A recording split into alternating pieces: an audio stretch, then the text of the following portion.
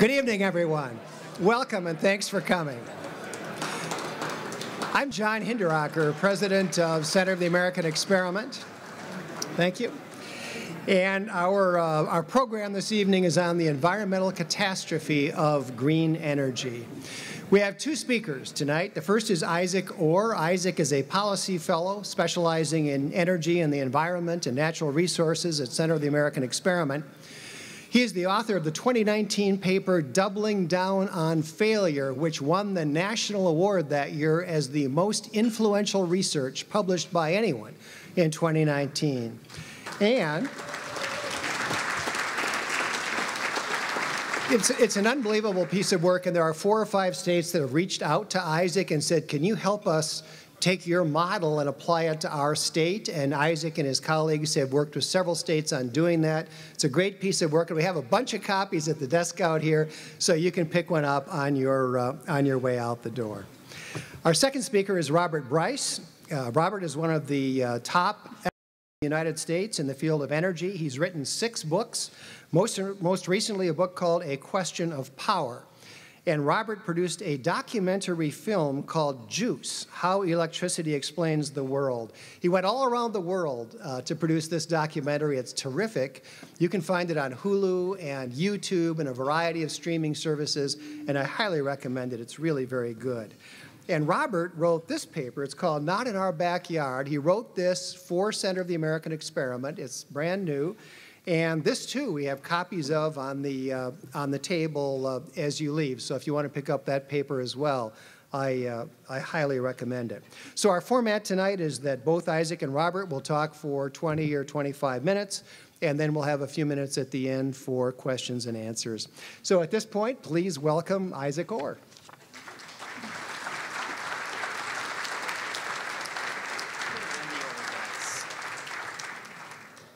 Right, everybody. All right, everybody, thank you for coming tonight. This is a great crowd. It's good to see so many smiling faces. Uh, my name is Isaac Orr. I'm a policy fellow specializing in energy and environmental policy at Center of the American Experiment. Uh, and I guess for my big disclaimer, I grew up on a dairy farm in Wisconsin, so get your boos out now. All right, great. yeah, so the title of my talk is The Environmental Catastrophe of Wind and Solar Power. And really, uh, the point of the talk is, or the point of that title is to get people thinking about the fact that all energy sources have environmental impacts, whether that is a coal plant, a natural gas plant, a nuclear plant, or wind and solar power. We tend to think of wind and solar as a consequence-free uh, source of energy, but that's just not how anything works. Everything that we do as humans has an impact on the environment, whether that's mining or tourism. I mean, that's one of the ways that invasive species get spread easiest, right? So we want to make sure that we're having an informed conversation about the environmental impacts of wind and solar so we can have the best, most reliable, and most environmentally friendly uh, electric grid possible. so uh, we're going to talk about these uh, negative environmental impacts. So how can renewables be bad for the environment? There are a few different ways. Uh, wind and solar require a lot more metal than other types of electricity generators, and uh, we'll look at how much metal it would actually take in order to go uh, with a Minnesota Green New Deal, if you will. Uh, and where we mine matters. Uh, that has a huge impact on the environmental impact of um, mining. Uh, where we manufacture matters. Uh, decommissioning, we'll see that wind and solar are not as sturdy as other sources of energy, and it also has an impact on global temperatures. So we want to talk about that as well. so metal requirements, uh, wind and solar are renewable and infinite resources, but the metal that you need in order to harvest that energy and put it to useful work for humans are not, uh, they are actually finite, they are not inexhaustible. So we need to be looking at this from a, is there enough copper, nickel, and cobalt around in order to harness these renewable energies? So uh, these metals have to be mined, refined, and turned into usable products. And the graphic above is from the International Energy Agency. And it shows that an electric car takes way more metal than a conventional car. Uh, offshore wind is a huge metals hog. Uh, but uh, even onshore wind and solar require more metal than a nuclear power plant, a natural gas power plant, or a coal plant. So if we wanted to say, for instance, okay, let's do a Minnesota Green New Deal, what does that look like? That small bar at the bottom is how many power plants we have in operation right now. It's about 17,000 uh, megawatts a big coal plant is about 1,000 megawatts. So just think of that as 17 coal plants, right? So Xcel Energy modeled to see how many wind turbines, solar panels, and battery storage facilities it would take to go 100% fossil fuel free. And they found that it would take about 21 coal plants or 21,000 megawatts of uh, solar, about 15,000 megawatts of uh, wind or 15 giant power plants, or I believe it was 24 uh, mega, thousand megawatts of battery storage. And because Xcel Energy produces about half the electricity in the state of Minnesota, we doubled that. So rather than having what we have today, which is the equivalent of 17 uh, you know, coal-fired power plants, we would need 120,000 megawatts of, uh, of wind, solar, and battery storage. And that will have a huge impact on the demand for metals. And you can see that uh, from a global perspective. So you would need about 1% of the world's copper production on an annual basis to build a grid like that, 4% of the global nickel, 43% of the cobalt. And you know, thankfully for iron and steel, there's a lot more of that, but we also use it for a lot of other things. So uh, there are competing interests for these metals as well. But you know, if you're gonna, oh, that's the equivalent of 52,000 blue whales. It's about 7.9 million tons of material. And that's more blue whales than exist. So um, that's not a great thing. Hopefully we can fix that someday. Um, but uh, that's only part of the story because the, the electricity that we use isn't all the energy that we use on a daily basis. In Minnesota, 35% of all the energy that we use is oil, and that's predominantly transportation fuels. That's gasoline, diesel, jet fuel. Uh, and a lot of the, of the rest of it is natural gas that we use for home heating or for industrial processes. So if you were going to try and scale up and get rid of all those fossil fuels for the energy that we rely on for transportation and home heating, you would actually have to build a lot more wind turbines and solar panels than we talked about before, and that would require a lot more metal. So let's look at that. For, uh, to basically get rid of those fossil fuels, we would need to more than double the amount of copper, nickel, and cobalt that we uh, discussed in the, the last scenario. And if you want to convert Minnesota's 5 million uh, gasoline-powered cars to be electric, you're looking at needing 4% of the global copper, 18% of global nickel, and 164% of the global cobalt production that comes around on an annual basis. And the, uh, I think it was Goldman Sachs had a report called Copper is the New Oil, and they said that only 1 million tons of copper are used for so-called green copper uses. So that's wind turbines, solar panels, or electric car globally on an annual basis. So just getting one state, state of Minnesota, to be you know green new state uh, would require 71% of all the copper that's currently used for, for green purposes. So this is just an enormous quantity of metal. And when you think about this, uh, wind turbines only last for 20 years, electric car batteries only last for up to 20 years, and solar panels last 25 to 30 years. So you wouldn't even be able to replace all of these uh, systems, or you wouldn't even be able to decarbonize the entire United States before you'd have to go back and replace all of these wind turbines that are kind of temporary uh, electricity generators. And you know, where are we going to get all of this metal? And unfortunately, when it comes to cobalt, we get it from the Democratic Republic of the Congo, uh, which is neither democratic nor a republic. Um, and as many as 40,000 kids are working in cobalt mines, washing the hand, or digging the ore by hand and washing it in rivers. So uh, there's a huge environmental and human impact to that. These are not MSHA approved. We don't have regulators going through and making sure that the levels of particulates in this mine are safe.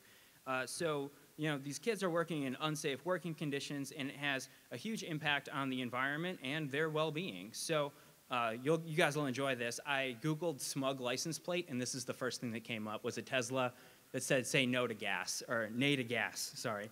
Um, but uh, because much of the mining is going to happen in the developing world, uh, because here's the, here's the other um, you know, irony of the situation. Minnesota has the largest undeveloped deposits of copper, nickel, and cobalt in the world. But the same groups that want us to go to this green new electric grid do not want to let us develop those resources, right? So they want it to happen somewhere else. And if it happens somewhere else, it's not going to have the same level of oversight and environmental protection. So we're essentially, the people who drink fair trade coffee don't seem to care about fair trade cobalt in their electric car batteries. And that's a problem. Uh, manufacturing, oh, that's okay. You guys don't have to do that. just hold your applause, please.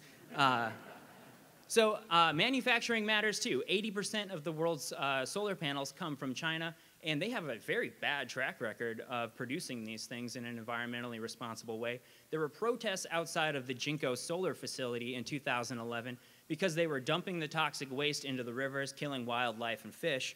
And then there's also the problem that Chinese solar panels have that they're made in factories powered by coal-fired power plants. And uh, they're, uh, if you're in Western China, they're, they're using slavery. Uh, it's uh, been described as, or from the German government, as a genocide of Muslim Uyghurs. It's ethnic minorities that are being enslaved to make solar panels. So, you know, there's, uh, there's the, you know, okay, they're burning coal, that's not great. If you're if your whole mission is to reduce emissions, you're, you're increasing them to make these, these solar panels. Why are we making our own grid more expensive, less reliable? Why don't we cut out the middleman, continue to use our existing coal-fired power plants until they don't run anymore? But I'm, that's a whole nother talk. We're not getting into that tonight.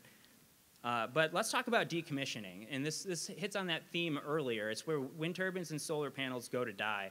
Uh, compared to other types of power plants, wind and solar are temporary or disposable power plants, right? So a nuclear plant can run for 80 years. A natural gas or a coal plant can run for 60. So if you have to replace a wind turbine every 20 years or a solar panel every 30 years, you have an enormous waste stream that uh, is going to be uh, something that we need to consider from an environmental standpoint. And you know, most of the material in the turbine itself is recyclable. You've got the steel, copper, and aluminum, but the blades aren't. They're fiberglass, they're plastic. I mean, those things are built to be indestructible, and unfortunately, when you go to tear them down, they're still indestructible. Um, so they end up in landfills. And you know, when it comes to the concrete bases, they, will cut off the first four feet of the concrete and the collector cable, but the rest of it stays underground forever. So, you know, concrete's inert, we have it everywhere, so it's not gonna be an environmental pollution problem, but it will present land use challenges in the future if you wanna you know, build a house out in that area. So you have to be cognizant of that. Um, so uh, the amount of, you know, let's go back to that Green New Deal, right? When we were talking about how many uh, wind turbines we would need. The amount of plastic and fiberglass in those wind turbine blades would be the equivalent of 2.2 trillion plastic straws over 20 years, right? Uh, so when it comes to solar, solar panels are not recyclable. Uh, they used to be more recyclable, but in order to reduce costs, they reduced the amount of silver in the, the panel. So now it's much cheaper to send it to a landfill. It costs one to, one to two dollars to landfill a solar panel. It costs thirty dollars, twenty to thirty dollars to recycle one. So what do you think happens, right? Uh, so this is from the Harvard Business Review. This is a, a graph that shows that people are actually replacing their solar panels earlier than anticipated, and this is causing a looming, or a looming solar trash wave. So some quotes from that study uh, some governments may classify solar panels as hazardous waste due to the amount of heavy metals, cadmium, etc. Uh, and research shows that pollutants such as lead and uh, other carcinogens can almost completely be washed out of the fragmented solar modules over a period of several months by rainwater, which is naturally acidic.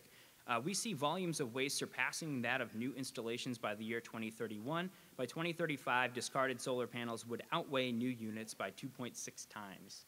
So uh, we, have, we have a lot of things that we need to consider while we're making these energy decisions to make sure we're making informed decisions. And this is, this is the last uh, new thing that I'm going to talk about, but it's an impact on global temperatures, or sorry, local temperatures, right? So we talk about the whole reason for building wind turbines and solar panels is to reduce emissions, therefore to hopefully reduce the future global temperature, right?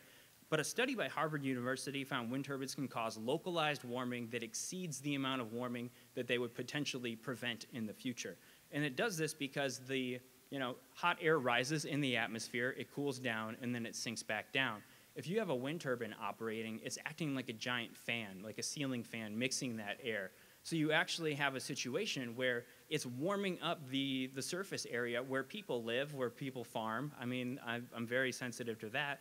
Uh, so the Harvard study said the direct impacts of wind power are instant, while the benefits of reduced emissions accumulate slowly. If your perspective is the next 10 years, wind power actually has, in some respects, more climate impact than coal or gas. If your perspective is the next 1,000 years, then wind power has enormously less climate impact. I don't know of a single coal plant that's lasted a 1,000 years, so maybe we shouldn't put the cart before the horse.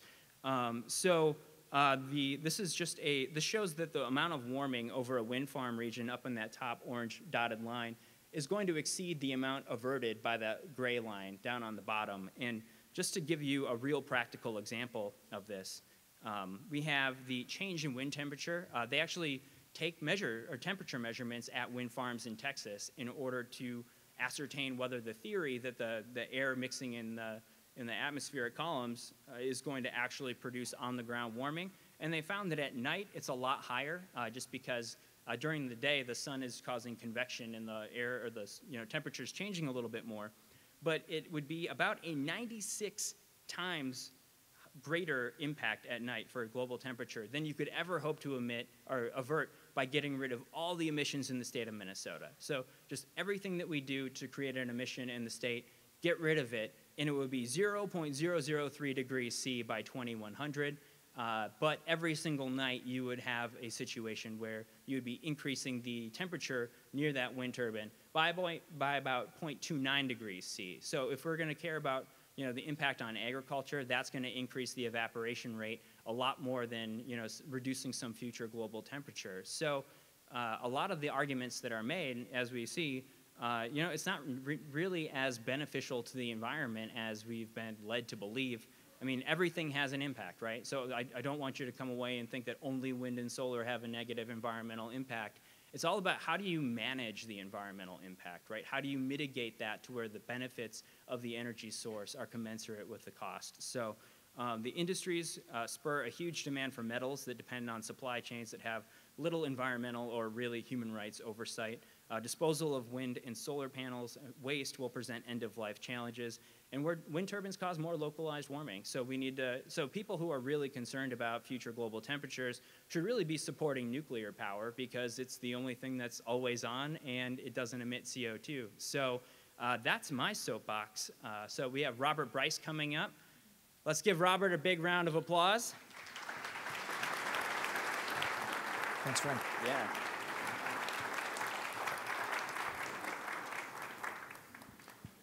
Thank you very much. Um, sincere thanks to John Hinderaker um, for inviting me to write this report for the Center of the American Experiment. I have been following the wind industry for 10 years. They don't like me, I don't like them back. First, I'm going to talk about Texas. Um, and I'm not here to brag about Texas. I'm born and raised in Oklahoma, so I'm not going to give you everything's better in Texas but my wife Lauren is here. We were blacked out for 45 hours beginning at 2 a.m. on February 15th. Now, talking about snow in Minnesota is probably not a good idea, talking, complaining about it. I live 1,200 miles south of here. And I know you all get a lot of snow, but to have six inches of snow on my roof for six days was unusual. These, this is a photo of my, the, the solar panel on our house in Austin. We live in central Austin. I have eight and a half kilowatts of solar panels on the roof of my house. Why do I have solar panels on the roof of my house? Because I got big fat subsidies to put them on there. That's why. So I'm opposed to energy subsidies unless I'm getting them.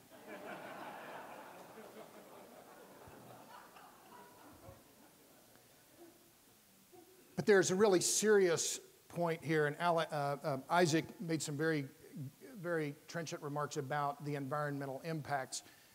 But what has not been fully appreciated by the political class here in the United States is the human impacts of the, of the blackouts that occurred in Texas.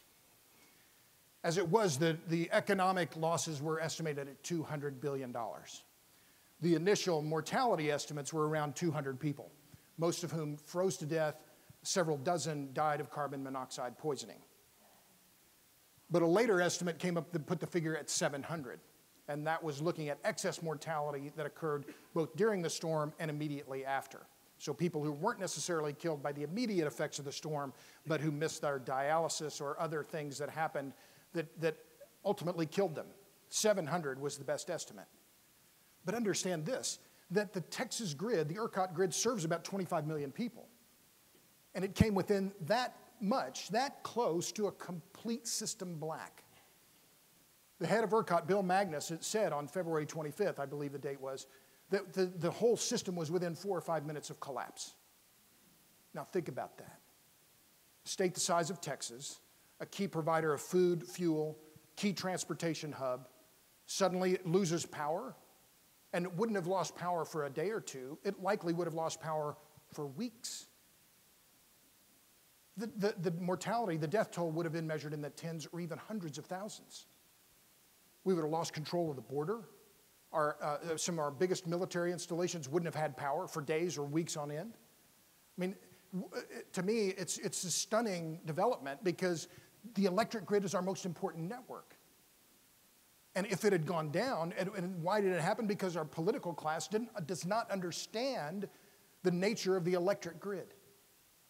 They didn't understand how important it is, and they said, well, we'll let the market solve this. Well, no, not on something this important. So, I joke about the, the, the, the solar panels on the roof of my house, but what is the key? What's, what's the oldest maxim in politics? Follow the money. Okay, so follow the money. I use screen grabs a lot in my PowerPoints. Uh, and so you look at that with the $53 billion invested, that's a screen grab, a, a screenshot from poweringtexas.com, which is funded by the wind lobby. Right below that is a screenshot from the solar industry business saying how much they invested in Texas. So a little bit of math, and I did a short, a quick estimate for 2020. How much money was spent in Texas on wind and solar in the years before the blackouts? $66 billion. Why did they spend $66 billion? Because they got $22 billion in subsidies. Nearly all of the capacity that was built in Texas before the blackouts wasn't built for resilience or reliability, it was built to collect subsidies. The market has been entirely corrupted by the investment tax credit and the production tax credit. So, what did that do? We saw dramatic change between 2006 and 2020, the same time period, a roughly 20% increase in wind generation and a 20% decline in coal fired generation. Why does that matter? Um, well, and, and uh, uh finally, uh, just one more slide on follow the money. Okay, so why was so much wind and solar built in the state? It was because that's where the money is. So I created this slide. I'm, I'm sure I'm, these are going to be some of the homeliest PowerPoint slides you've ever seen, but nevertheless, they're mine. These are numbers that I collected from the, the Congressional Research Service on the total tax credits uh, uh, that were uh, uh supplied by the federal government. I combined the tax credit data with BP data on the amount of energy produced in the United States and normalized it around exajoules. That's dollars per exajoule. What's an exajoule? It's an SI unit. It's equal to about a quadrillion BTUs or one trillion cubic feet of natural gas. So it doesn't matter what the x-axis is, what the denominator is, whether it's, uh, you, we could put gallons of gasoline, we could put uh, BTUs, doesn't matter. The punchline here is that solar industry is getting 250 times more federal tax love than the nuclear sector. The wind energy business is getting 160 times more. So why are we building solar and wind? Follow the money. That's where the money is. And I'm in complete agreement with Isaac. If we're serious about climate change, if we're serious about reducing emissions, we have to get serious about nuclear. We are not serious about nuclear. Instead, in some of the most heavily democratic states in America, New York, Illinois, California, nuclear plants are being closed and it's being cheered on by some of the biggest environmental groups in America, including the Natural Resources Defense Council and the Sierra Club. This is deeply unfortunate because it is undermining the resilience and reliability of the grid. The closure of the Indian Point nuclear plant in Buchanan, New York in April of this year was a travesty. Even if you don't care about CO2 emissions, the fact that they are losing a reliable baseload form of generation close to the city of New York that was providing 25% of the electricity needed by a city of 8 million people from a footprint of one square kilometer, and they closed it down. Good riddance, Andrew Cuomo. You sorry bastard. He cheered it on in 2017, gleefully announced, We're going to close this plant. Well, bully for you. Don't let the door hit you in the ass. Okay, sorry, I'm getting all wound up here and screwing up my slides. Okay, wait a minute. There we are. Uh, Picasso said, uh, Amateurs borrow professional steal. I stole this slide from Art Berman. After the blackouts in Texas, there were stories in the New York Times, Paul Krugman, Naomi Klein saying, oh, those crazy Republicans down in Texas blaming the renewables. Oh, they're so dumb.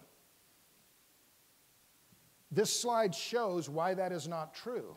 Okay, I don't know if this has a laser pointer on here. I don't know. Anyway, oh, dog it, wait the heck. I need to get somebody else to run my slides here. Okay, so this is a roughly a, a one month period. You see the, where the word wind is, that's when the, the weather is fair in Texas uh, on like January 30th. It backs out, look how it backs out natural gas. This is the amount of generation in the ERCOT grid. Okay, so when the weather is great, yeah, sure, here's wind backing out natural gas. Well, what happened at 2.15, I'm, I'm sorry, on, on February 15th, at about 2 a.m., when our lights went out in Austin and stayed off for 45 hours, where's wind and solar? They went to Cancun with Ted Cruz. Not here, gone. What came into the grid? Lots of natural gas. And yet the, the, the environmental groups, the, the, the climate activists said, oh, it's the natural gas business. Their problem. They didn't show up. They didn't show up. This graph shows exactly the opposite. Did some gas go missing? Yes, it did. What was the problem? And the lack of coordination between the electric regulators and the natural gas regulators. Some of the pipelines froze, some of the pipeline, some of the gas processing plants and pipelines were cut off from the electric grid, mismanagement. Uh, th th there are a lot of reasons why the blackout failed. But it wasn't because of natural gas. It was because in, in, in the years before the blackouts, all the money that was spent on capacity in Texas was spent on weather dependent renewables. And when it came to crunch time, they left. They were nowhere to be found. And here's the problem. It now, in the, in the next two years, the only capacity that will be added in the ERCOT grid is solar and wind.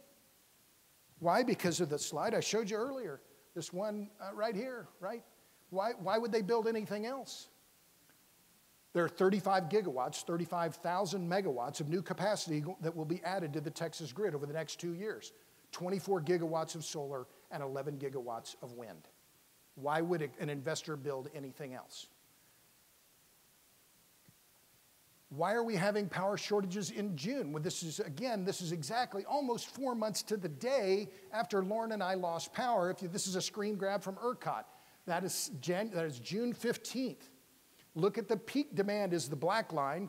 The green line is showing the actual integrated wind output. You can go to the ERCOT website under their wind integration reports section and you can pull this very data down.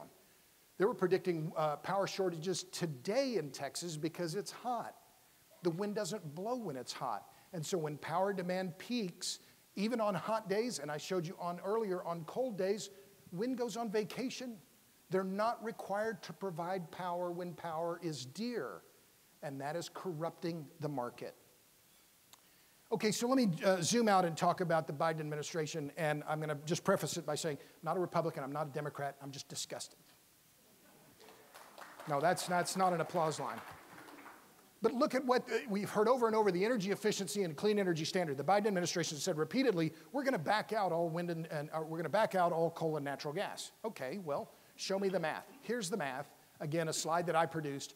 The, the, uh, the, the, line second from the bottom is, is coal and natural gas. That's how much electricity we generate every year, about 2,700 terawatt hours. Well, some of the best advice I got in my career when presenting information, presenting numbers, was from Edward Tufte. He said, whenever you give people a number, give, it some, give people something to compare it to, a metric that they're familiar with, so that they know what the scale is. So, what's 2,700 terawatt hours? It's roughly equal to the output of every nuclear reactor on this planet. It's 27 times the output of every solar panel in America, including the heavily subsidized ones I have on the roof of my house. This idea that we're going to do this and we're going to do it in 14 years, remember the promise is by 2035, call me a skeptic. Jennifer Granholm, all due respect to the former governor of Michigan, I don't see any uh, uh, pump jacks on her. This is a screen grab from her Twitter page. I don't see any pump jacks up there. I don't see any coal mines. I don't see any cooling towers from nuclear power plants. I see solar panels and wind turbines. And on March 3rd, in a speech, arguably at that time the most important speech she had given in her career, and the most, certainly the most important one as energy secretary, she said, We have to add hundreds of gigawatts to the grid over the next four years. Madam Secretary, if you please, the entire grid in the United States is about 1,000 gigawatts, one terawatt. It's actually about 1.2 terawatts, 1,200 gigawatts. Either she doesn't understand what a gigawatt is, or she's assuming that we can build this much capacity and do it with just a, a little bit of the waving of the hands.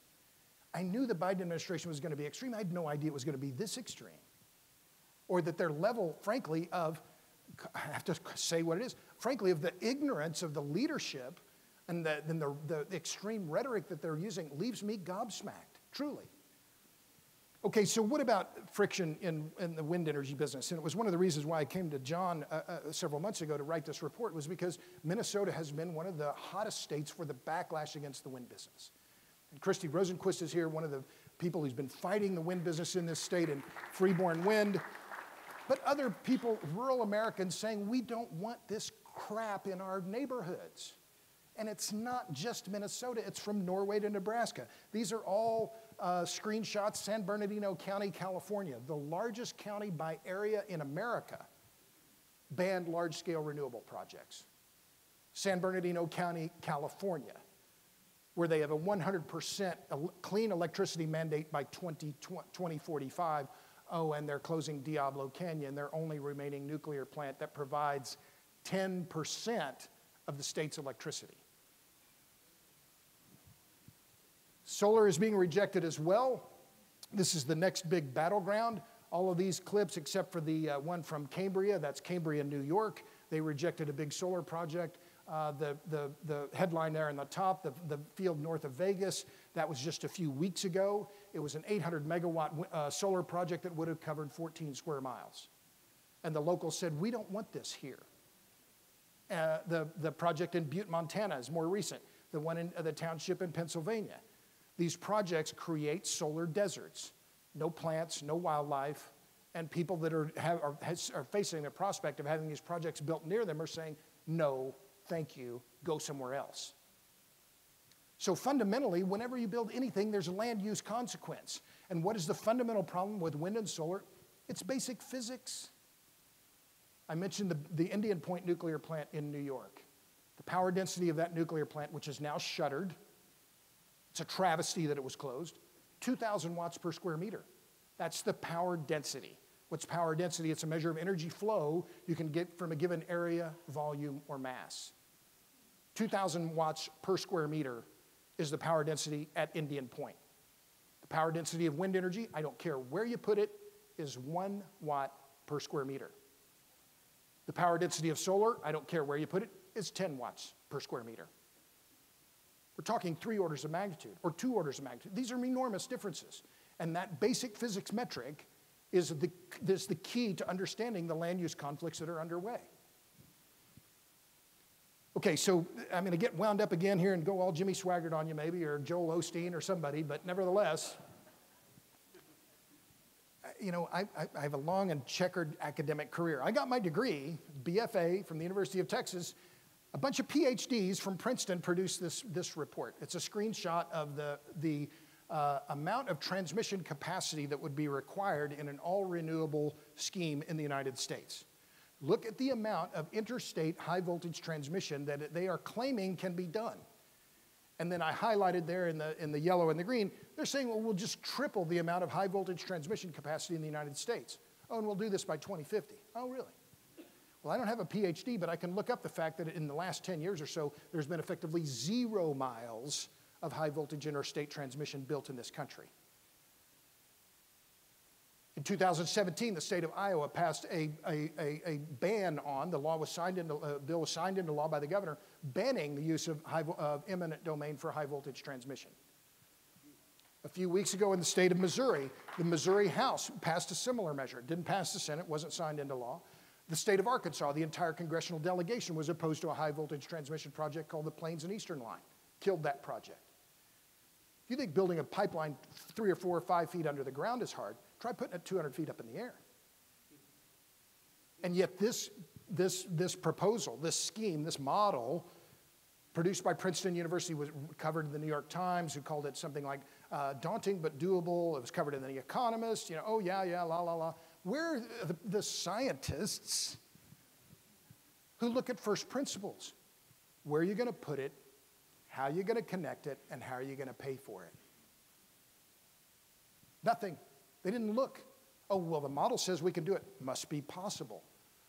Okay, so back to power density.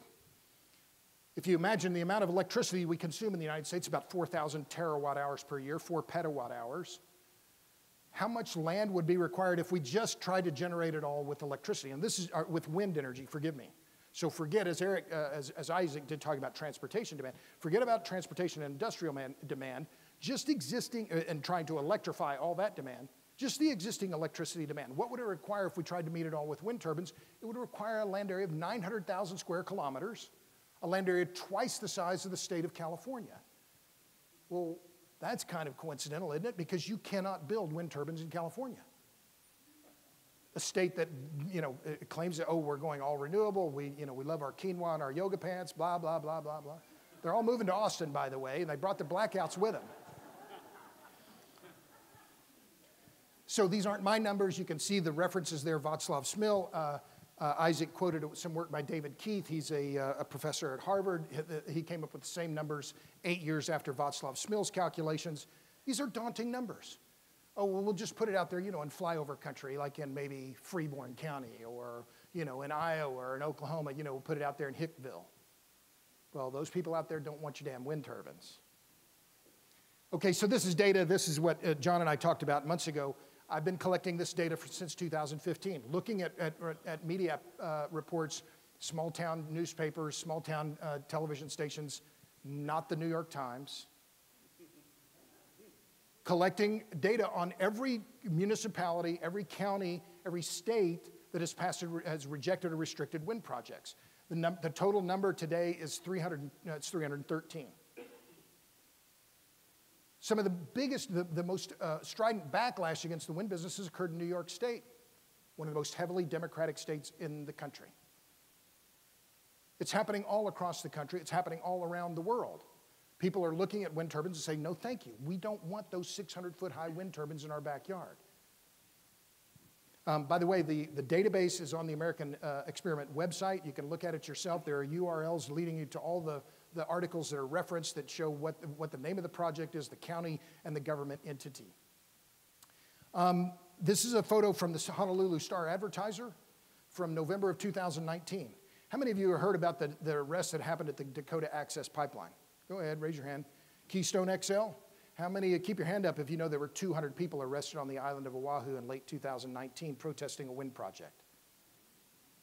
Out of a crowd of maybe 215, three hands are up doesn't fit the narrative. 200 people arrested near the village of Kahuku protesting a wind project.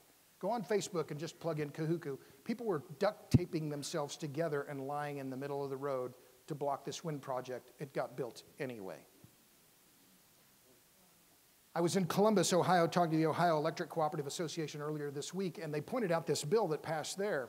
And I'm only bringing it up and just briefly SB 52, signed into law by Governor DeWine uh, last month, the bill gives local counties control over what's built in their counties, including renewable projects. Not a single Democratic voter or Democratic legislator voted in favor. What does that tell you?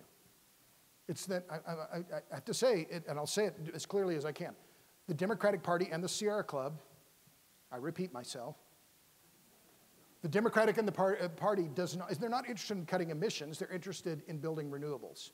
And it's not the same thing. Not a single Democratic legislature in, a legislator in the Ohio legislature voted in favor of local control. What does that tell you?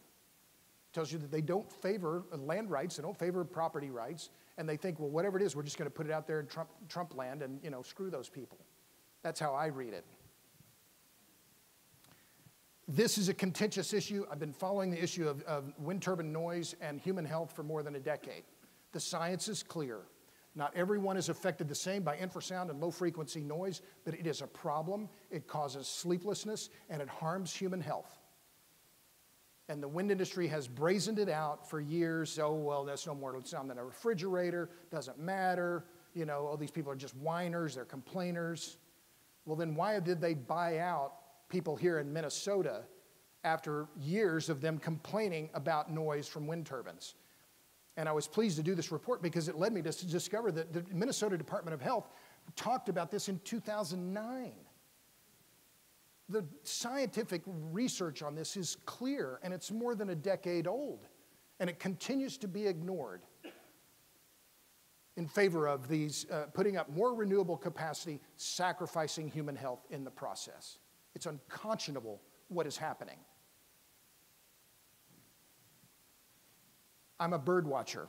I love birds. I've, Lauren and I have traveled a fair part of the world looking at birds.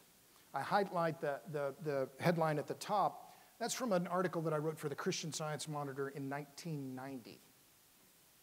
I've been in the journalism business for a while, never had a real job. I wrote about it back then because there was a, some massive mortality was happening in the oil pits and oil fields in Oklahoma, Texas, Louisiana, New Mexico, and the Fish and Wildlife Service Division of Law Enforcement engaged in a multi-state, multi-jurisdictional crackdown, brought more than 200 cases against oil and gas companies for having unnetted oil pits. Birds were landing in them and dying. The estimate at that time of 500,000 birds a year were being killed by open oil pits. Today, the Fish and Wildlife Service and other biologists estimate 500,000 birds, including not just passerine birds, not perching birds, raptors, and some of our most iconic raptors, golden eagles, bald eagles, hawks. The tally is roughly 500,000 birds a year. 30 years ago, the Fish and Wildlife Service took a, undertook a massive law enforcement effort to crack down on an industry that was killing our wildlife. Half a million birds a year. Today, the same level of, of, of, of, wildlife mortality, crickets. The wind industry has been given effectively a free pass when it comes to the enforcement of the Migratory Bird Treaty Act, even though it's our second oldest wildlife protection law. Bats don't have as good a PR as, as birds. They are, they are important pollinators and insectivores, and wind turbines are taking a massive toll on bats. Why do we care about them? Because they're our only flying mammals. They're important insectivores and pollinators, but they're key part of the ecosystem, and they reproduce very slowly. And yet, this isn't being discussed at all. Nothing. Instead, the Biden administration, Joe Biden said, we need to build tens of thousands more wind turbines. Well, what about the wildlife? Wildlife that belongs to, you know, all of us? Oh, well, you know, climate change. Okay, well, climate change, fine. Climate change is a concern. It's not the only concern. Um, natural gas power burn. This is just a quick slide. My first book was on Enron. Came out in 2002. When Enron went bankrupt, we were burning about 5 trillion cubic feet of gas per year in the electric sector. We've now doubled that number. Our electric grid and our electric grid have merged. It was one of the reasons why we had blackouts in Texas. Just in time delivery of natural gas. I'm pro natural gas, but it, the, the power plants that use natural gas depend on it being delivered just in time. You can't pile it up like you can coal, you can't store it like you can uranium, you can't put it in a big old tank like you do diesel fuel. So our grid has become far more dependent on natural gas. That, when, when the weather is fair and we have lots of gas and there's no problem, it's not a problem. But during crunch time, when it gets cold or super hot, it can be a real problem. This is data, I just put this slide together the other day. This is DOE data looking at the number of grid interruptions, that's their term, the major disturbances and unusual occurrences. That's the DOE's term. What we're seeing is, excuse me, more, um, more blackouts. This is a graph showing blackouts across the United States over the last 20 years. And I'm no data scientist, but I, it, the numbers are going up. In fact, they're 10x what they were in, in, in 2020, they were 10x what they were in 2000. Which leads to my next slide. What's good for Generac is bad for America. Familiar with Generac? Based in, in Wisconsin, Waukesha, right? A publicly traded company, the stock is on fire. Why? Because everybody around the country wants a generator. I just got one at our house. And what is the, and look at the, the, the, the line on increasing use of renewables leading to variability of supply and grid instability. That's a screenshot from Generac's latest investor report. You can look on their website. None of this is my data. These are all screenshots from Generac's latest investment, uh, their latest investor presentation. And look at where they think their, their biggest markets are. California and Texas. Gee, imagine that. So, yeah, great for Generac. I'm not opposed to the company, but every dollar that's invested in a Generac generator is a dollar that doesn't go to put your grandkid through college or buy a new car or a dishwasher or something else because people are concerned about the grid failing them for good reason. And why is Generac saying the grid is less stable? because of renewables. Why would they say that in their investor presentation if it wasn't true? Um, I'm repeating uh, just a slide that, that Isaac presented just a moment ago. This is from the International Energy Agency report in May. Um, offshore wind, look at the, the material inputs. The fundamental issue is the lower the power density, the higher the resource intensity. When you, when you have a low power density system, whether it's corn ethanol, solar, wind, you have to put more stuff in, more concrete, more steel, more manganese, cobalt, all of these other things to overcome the low power density. Well, okay, so Isaac went over this slide, I won't stay here, but where do all these critical minerals come from? This is the same data, another screenshot from the IEA's report in May. China. Ladies and gentlemen, I'm not here, I'm no foreign policy expert. China is not our friend. And the idea that we're going to, uh, uh, the Biden administration just yesterday asked OPEC to produce more oil. So what are we now? We're going to go ask the Chinese, oh, produce some more rare earths because we want more wind turbines. Are you serious? I mean, uh, truly. I mean, it, it's staggering. And I'm, i know I'm getting all wound up here, but the, the, the, the blackouts in, in February changed my view on these issues. I knew the numbers, I knew the, the, the, the, the, the policy, but the blackout brought it home, into my house home. And the idea that we're going to suddenly rely more on China for critical minerals and, for, and forego domestic energy production, it's madness. Okay, so what are my bottom lines? Uh, we got to stop fragilizing the grid. What's the fragilization of the grid? What is the fatal trifecta? That's uh, Meredith Angwin's line a woman I quite admire. She just published a great book called Shorting the Grid. I've had her on my podcast three times.